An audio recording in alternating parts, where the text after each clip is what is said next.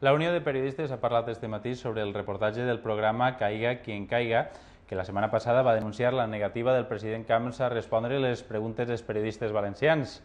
Un vídeo que, per cert, a internet ja supera les 52.000 visites. La presidenta de la Unió de Periodistes, Amparo Bau, s'ha mostrat pessimista sobre un possible canvi d'actitud del president Camps.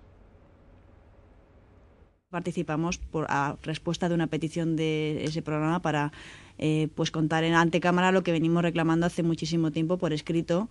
en comunicados públicos y también en cartas y en conversaciones con gente de presidencia de la Generalitat. De verdad confiamos que se pueda producir un cambio de actitud, aunque es cierto, cierto que la respuesta que dio el, el portavoz del Consejo el viernes a una pregunta similar en, después de la rueda de prensa del Consejo negó que el presidente Camps esté evitando a los periodistas, con lo que no sé yo si se va a producir un cambio de actitud si la propia Generalitat niega que se esté produciendo ese silencio del presidente. Por tanto, creo que habrá que esperar unos días más, incluso semanas, para ver si hay un cambio de postura en presidencia de la Generalitat seguimos como hasta ahora.